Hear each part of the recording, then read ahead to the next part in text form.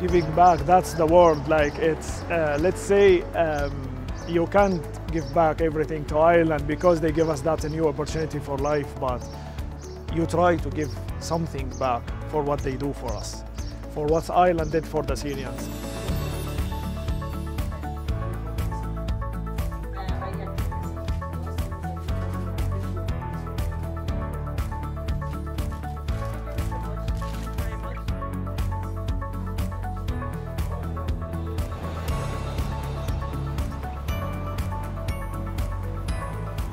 I opened it Monday. I, I was stand up in the pharmacy, like I just said, like, that's real, if that's a start again. Look, not everyone have the chance to start his life again.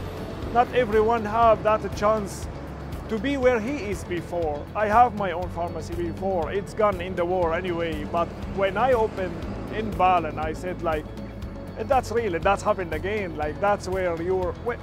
That's that's your future.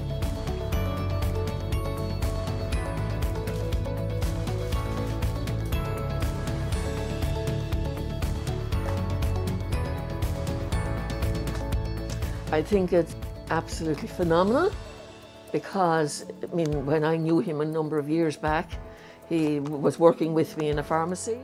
And on one occasion I said to him, what do you want to do when you leave here? And he said, I want to own my own pharmacy, set up my own business. And of course, me being the cynical older lady said, said to myself, mm -mm, we can all dream, can't we? And now here, it's here, he has it.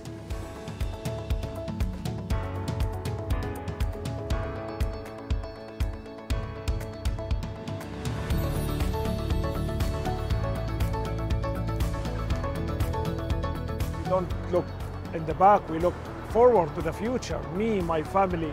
Uh, that's where the point that, that, the, that the most important things is um, to do what you need to do for your future, for your family, uh, for the community where you are in.